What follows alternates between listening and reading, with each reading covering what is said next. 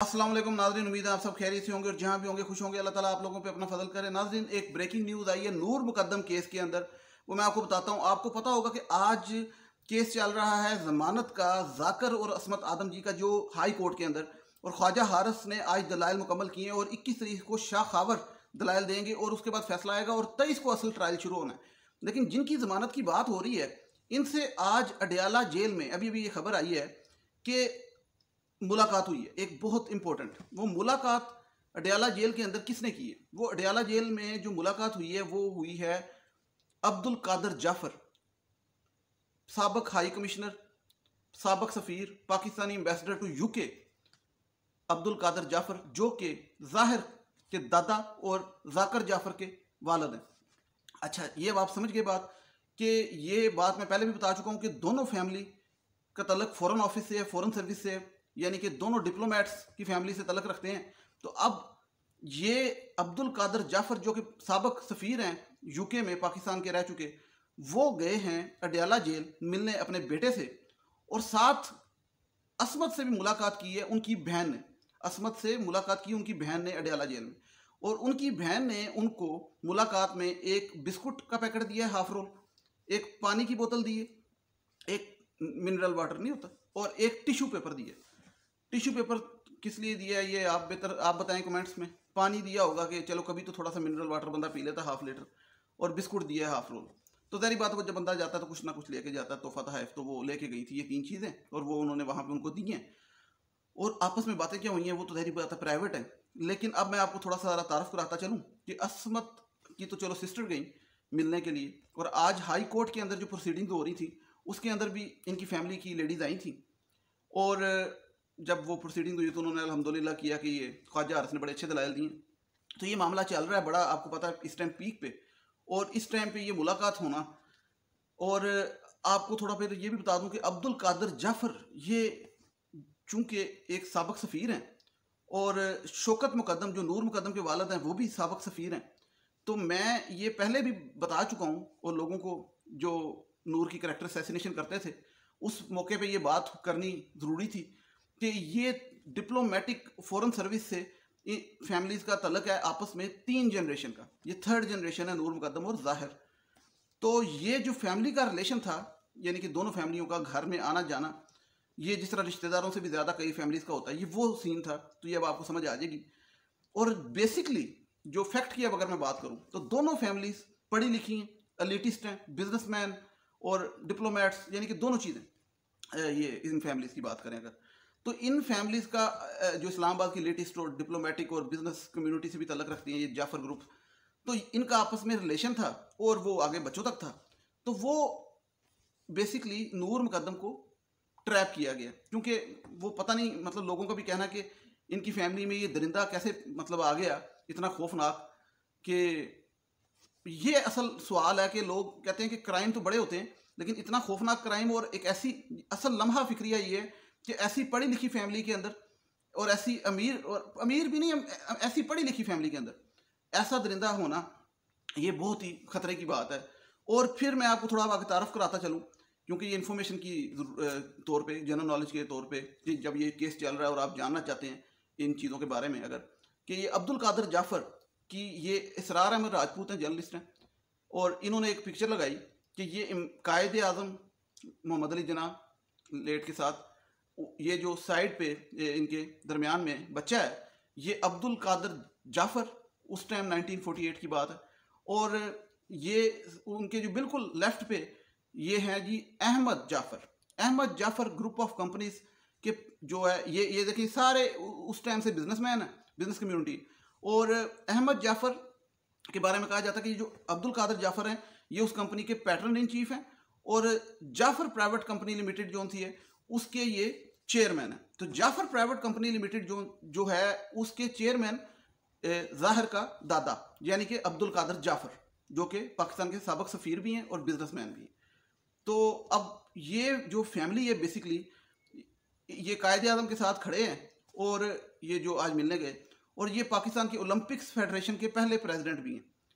तो यानी कि ये पॉलिटिक्स, डिप्लोमेट, बिज़नेस कम्युनिटी और पाकिस्तान के कहने का मकसद है कि पुराने और जद्दी पुश्ती, एक होता है कि कहते लोग कहते नए नए अमीर हुए। तो ये कन्फ्यूज़न भी दूर हो जाती है इन चीज़ों से कि नए नए अमीर नहीं नए नए पढ़े लिखे भी नहीं, पुराने पढ़े लिखे पुराने अमीर। लेकिन ये सारी चीज़ें देख के ज़्यादा परेशानी ये होती है कि ऐसी फैमिली के अंदर एक ऐसा जानवर, दरिंदा, और वो ऐसा खौफनाक घनौना जुर्म करे, ऐसी दरिंदगी दिखाए तो फिर उससे ज़्यादा परेशानी ये होती है कि अब इस केस का क्या बनेगा? क्योंकि ये शौकत मुकदम साहब तो स्ट्रांग हैं, हम उनके साथ खड़े हैं। लेकिन ये दूसरी जो पार्टी है, ये भी कम स्ट्रांग नहीं है।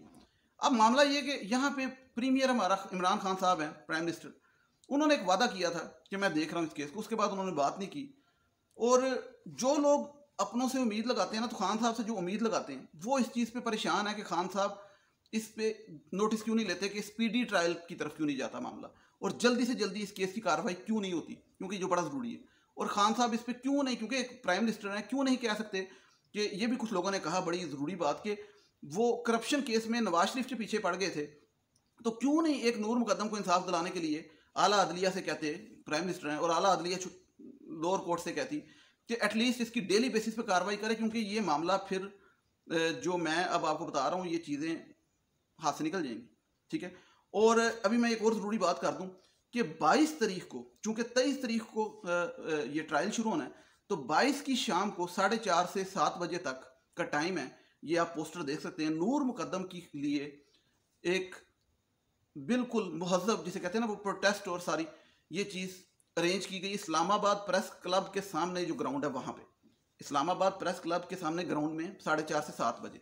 तो जो लोग शौकत मुकदम साहब को, उनके बहन भाई को, नूर मुकदम के, और नूर मुकदम को सपोर्ट करते हैं दिल से और इस्लामाबाद और पिंडी में रहते हैं तो वो एक कैंडल क्योंकि ये ये पढ़े लिखों का फ़र्क है ना कि वो टायर नहीं जलाते, वो सिर्फ़ कैंडल जलाते हैं। तो उन्होंने कहा है कि ये, एक तो एस का ख्याल रखना है मास्क पहन के आना है, दूसरा कैंडल लेके आनी है, वहाँ पे कैंडल लाइट करके कैंडल लेके आनी है। इस पर ये लिखा भी गया है एस का भी ख्याल करना तो कहने का मकसद ये कि ये देखें कि एक पढ़े लिखे लोगों में क्या फ़र्क होता है कि वो टायर जलाने की बजाय या सड़क ब्लॉक करने की बजाय या इश्तियाल दलाने की बजाय वो महजब तरीके से अपनी रिक्वेस्ट करते हैं, लेकिन उनकी रिक्वेस्ट अमूमन नहीं सुनी जाती, क्योंकि हमारे जो नहीं रही साफ़ सी बात है बड़ों के हाँ उस वक्त तक मामले नहीं होते जब तक फायरिंग ना हो या टायर ना, क्योंकि फायरिंग की मैंने बात इसलिए की क्योंकि ये जैनब वाक़ हुआ था तो उन्होंने पूरे गाँव ने डीसी ऑफ़िस डीपीओ ऑफ़िस पे हमला कर दिया था और डीसी ऑफ़िस से फायरिंग हुई थी। दो बंदे जख्मी हो गए थे और पूरे कसूर के अंदर वहाँ पे आगे लग गई थी और आग लग गई थी और कहने का मकसद था कि टायर जला दिए थे और बहुत ही नुकसान भी हुआ था। तो उसके बाद जाके नोटिस लिया गया था और बहुत तेज़ी से उसको स्पीडी ट्रायल डेली बेसिस पे और उसको जल्दी से जल्दी सजाए मौत भी सुना दी गई थी गिरफ़्तार करके। हालाँकि वो मुलजिम भी फरार था, लेकिन उसको गिरफ़्तार भी किया गया और उसको सजाए मौत भी सुनाई गई। तो ये नूर मुकदम केस में भी बड़ा ज़रूरी है, लेकिन अगर पढ़ा लिखा इंसान इस तरीके से एहतजाज करता है और एक महजब तरीके से तो हुक्मरानों को चाहिए, खान साहब को चाहिए, रिक्वेस्ट है रिक्वेस्ट है कि काइंडली इसको स्पीडी ट्रायल की तरफ़ लेके जाएँ, ये बहुत ज़रूरी है। क्योंकि जो मैंने भी आपको बताई कि अडयाला जेल में मुलाकात हुई, ये इस पर मैं डिटेल में डिस्कस करूँगा, बाद में आपसे, लेकिन मैं आपको थोड़ा सा क्लियर कर दूँ कि ये बड़ा मैटर करता है। क्योंकि ये जो मैंने आपको बताया कि मतलब कायद अजम के ज़माने से ये बिज़नेस की फैमिली बिज़नेस ग्रुप है इनका, और ओलंपिक्स की फेडरेशन के प्रेसिडेंट थे इसके दादा। उसके अलावा ये अभी सबक सफ़ीर रह चुके हैं और इस टाइम चेयरमैन है जाफ़र ग्रुप कंपनीज़ के। तो ये जो सिचुएशन है ना, और फिर ये ये ये मामले, फिर जारी बात हर बंदा कोशिश करता है। तो ये मैं इसलिए कहता हूँ कि कम अज़ कम और कुछ नहीं तो स्पीडी ट्रायल हो जाए तो बहुत बेहतर है। और जो पानी है, नस्ले का दे के आई उसकी बयान असमत को। तो वो हो सकता है घूट घूट करके पिए, क्योंकि पाँच छः दिन गुजर जाए, जब तक जमानत नहीं होती, क्योंकि वो चांसेस नज़र आ रहे हैं असमत के। और जहाँ तक बिस्कुटों की बात है, वो शायद चाय में डबोने के लिए दिए हों। टिशू के बारे में मुझे समझ नहीं आ रहा टिशू का आप बता दें टिशू का शायद गर्मी ऐसी नहीं, पसीना शीना का मसला होगा। मैं भी, चलो कुछ हो सकता है, बहरहाल वो आप बता दें। तो खैर, इतना तो बनता है जारी बात है, तोहफे देने थे, तोहफ देने थे थोड़े से बहन ने। तो ये मैंने कहा आपके साथ शेयर करूँ, बहरहाल वो मज़ाक की मेरी थोड़ी सी आपको पता आदत है, लेकिन मामला सीरियस है।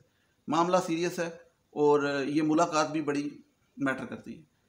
तो उम्मीद करता हूँ कि आप लोग जो सपोर्ट करते हैं और बेशक इधर हैं या बाहर हैं, अपने अगर बाहर हैं तो इधर वालों को कहें कि नूर मुकदम की सपोर्ट के लिए 22 तारीख को साढ़े चार बजे इस्लामाबाद प्रेस क्लब के सामने ग्राउंड में आ जाएँ एक एक मोमबत्ती लेके, ताकि उसकी सपोर्ट अगर आप चाहते हैं करना और मास्क पहन के आइएगा। थैंक यू सो मच मुझे नेक्स्ट वीडियो तक इजाज़त दीजिएगा. टिल देन टेक केयर अल्लाह हाफिज़. थैंक यू सो मच और ये ना ड्रामा अंडर स्कोर हकीकत. ये जो है इंस्टाग्राम का मेरा आईडी है, इस पर मुझसे कॉन्टैक्ट कर सकते हैं.